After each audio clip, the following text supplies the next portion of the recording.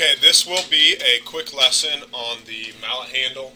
There is also a video for the mallet head that you can find on the website. For all the drawings we do, it is very handy for you to have this pegboard project folder open. Uh, there's good information in the title blocks, but also the instructions have some pretty good information also. So if you get clear down here to almost the last page, after we did the mallet head, it goes on and it talks about the mallet handle. Guys, and this is really a pretty simple part to draw. There's just a couple of new things. It says when we create a part file, we're going to start with a 5 8 inch diameter circle, and we're going to make that 8 inches long. Okay, so let's start that together in Inventor. I'm going to create a new standard IPT. And then, like we almost always do, I'm going to make a 2D sketch on the XY plane. Okay? We want to start with a circle. So I got my circle tool. Does anybody remember how big that circle was? 5 eighths. And if you don't know how to convert that into a fraction in your head, just type it into a fraction right in there. 5 over 8. Hit enter. It did the math for us. I can finish my sketch. And how far was I supposed to extrude that?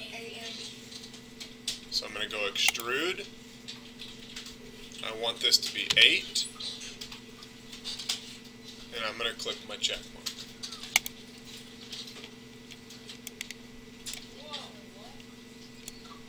I'm going to zoom out so I can see the whole thing, okay? Now, on our title block, there's a chamfer on each end and then there are also threads on it.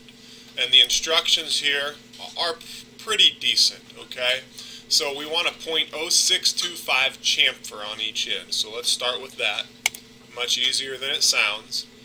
Up here in the modify bar, the top one is chamfer, okay? So just get onto chamfer and click it. Now, my default pops up as a .125, and that's not what I want. I'm going to highlight it, and I'm going to change it to .0625, which is what the instructions told us. Now, if you notice, the button that says Edges is already lit up blue, so that tells me that button has been clicked. If yours is not blue, you may need to click it, okay?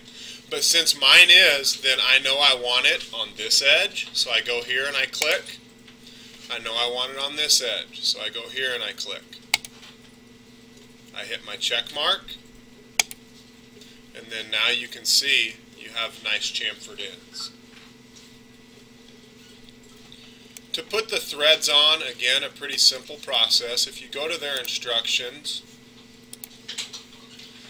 you want a thread on just one end. To match the threads in the mallet head, it says see figure 16. And that's right up here. It's a little hard to decipher. Uh, but we also just did this when we did the mallet head, okay? So the hole is actually 0.875 deep. So that's how deep we're going to go with our threads. You could probably also do them 0.625 since that's the depth of just the threads. But we'll go with 0.875. So I'm going to go back over to Inventor here. And right up here in Modify, I've got Thread. Everybody finding that okay? Okay. So I'm going to click Thread. And then there's a few things that I may want to change on here. I don't want the full length of the part to be threaded, so I'm going to uncheck that. How long did I say I wanted those threads to be? Yes, 0.875 is good, so I'm going to change that to 0.875.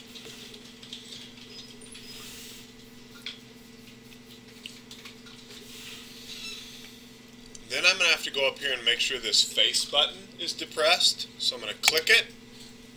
Then I'm going to click where I want the threads. See how it previews for me? So if I click there and I click apply, I've got threads. I'm going to click cancel now that I'm done with that, okay?